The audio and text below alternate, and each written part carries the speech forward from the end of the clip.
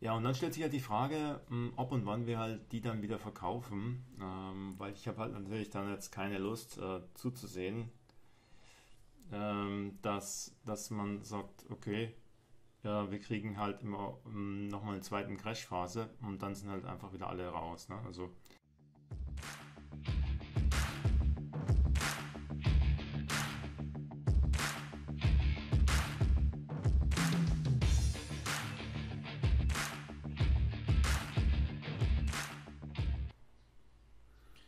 Yo guys, äh, die Gazprom-Aktie, also seit dem Downfall äh, in der Krise dort, ja, wo wir auf 3,80 waren, ich blende euch nochmal das Video ein, als ich damals sozusagen mir allen Mut gefasst habe und bei 3,80 nochmal eine Kauflimit reingesetzt hatte, eine Kauforder, ja, hat sich mittlerweile da über, was bis auf über 5 Euro ähm, gemausert und jetzt sind sie wieder über unter 5 Euro gefallen, also was ich sehr erfreulich finde, dass äh, die Gazprom-Aktie letztendlich so ein bisschen mitzieht mit dem Gesamtmarkt, also nicht irgendwie so ein dubioses, ähm, völlig unberechenbares Eigenleben führt, wie so manche Aktien es, es gibt, ja, Gott sei Dank, also man kann sozusagen ein bisschen sich am Gesamt, an der Gesamtmarkt orientieren. Und ähm, das, war, das ist schon mal sehr positiv. Und ja, ähm, ich würde mal sagen, ähm, die Dividende äh, steht ja an bald, ne, in wenigen Tagen, Wochen.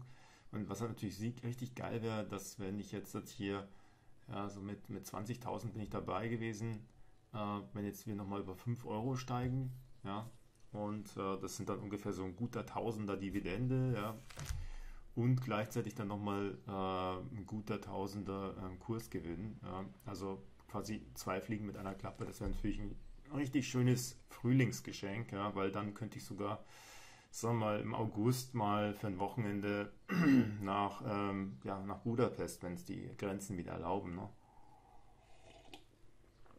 Und ähm, nicht in irgendeinem Loch wohnen wie letztes Jahr, ähm, weil ich halt einfach auf Low Budget alles gemacht habe. Ähm, sondern vielleicht mal ein Vier-Sterne-Hotel. Ne? Also äh, ich schätze mal, dass so 1200 Euro Netto-Dividende werden. werden. Es, das, das ist ungefähr sowas in den Dreh ja, kann man schon drei Nächte in einem äh, vier, vier Sterne Hotel, also Bu Budapest ist extremst teuer ja, äh, geworden, also nur zur Info, ähm, was die Hotels auch betrifft. Ja, und dann stellt sich halt die Frage, hm, ob und wann wir halt die dann wieder verkaufen, ähm, weil ich habe halt natürlich dann jetzt keine Lust äh, zuzusehen, ähm, dass, dass man sagt, okay, ja, wir kriegen halt immer ähm, nochmal eine zweiten Crash-Phase und dann sind halt einfach wieder alle raus. Ne? Also ähm, was natürlich passieren wird, wenn sobald die Dividenden ausgezahlt werden, äh, geht natürlich bei der Gazprom-Aktie, es ist ganz extrem. Ähm, also wenn jetzt die Dividende 5% ist, dann geht am gleichen Tag die Gazprom-Aktie mindestens 5% runter oder 7% oder sogar etwas mehr. Und dann ist es aber häufig so, dass sich innerhalb von wenigen Tagen, also maximal nur, also meistens nur eine Woche oder weniger sogar, das wieder ausgleicht. Ne? Ähm, dass einfach die ganzen Langfristinvestoren ähm, sozusagen äh, das sofort wieder nutzen. Ja, und ähm, also das war zumindest in den letzten Jahren so. Und äh, also mal angenommen, wir gehen jetzt über, sagen wir mal, auf 5,20 Euro oder so, ne? Und dann ähm, wird die Dividende ausgeschüttet und dann fällt es halt wieder auf 5 Euro runter oder sowas. Und dann nochmal ein paar Tage später nochmal sozusagen wieder auf 5,20 Euro geht.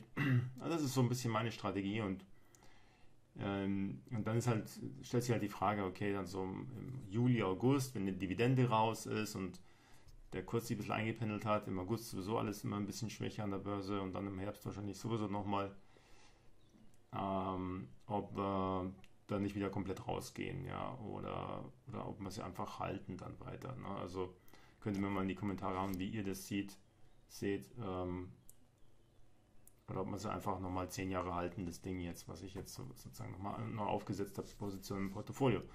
Das soll es gewesen sein für dieses eine Aktien-Review. Äh, ähm, Meinung, Beurteilung ähm, teilen, Transparenz.